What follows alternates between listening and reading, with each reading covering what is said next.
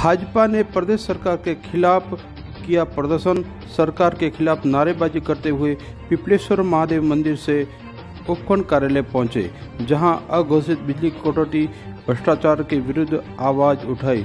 उपखंड मुख्यालय पर भाजपा कार्यकर्ताओं ने भाजपा मंडल अध्यक्ष कोटड़ा व मामेर के नेतृत्व में प्रदर्शन करते हुए उपखंड कार्यालय पहुँचे, जहाँ राज्य सरकार के खिलाफ नारेबाजी करते हुए राज्यपाल के नाम तहसीलदार को सौंपा ज्ञापन।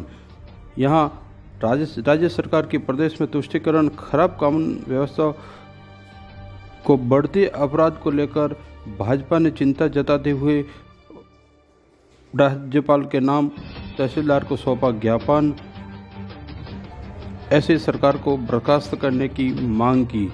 भाजपा मंडल अध्यक्ष कोटड़ा, भाजपा मंडल अध्यक्ष मामेर युवा मोर्चा अध्यक्ष, एससी मोर्चा अध्यक्ष, मीडिया प्रभारी, एससी मोर्चा मंडल अध्यक्ष, युवा मोर्चा अध्यक्ष बडली सरपंच, पंचायत समिति सदस्य, जिला परिषद सदस्य, सरपंच, वार्ड पंच सहित अनेकों कार्यकर्ता इस अवसर पर उपस्थित रहे।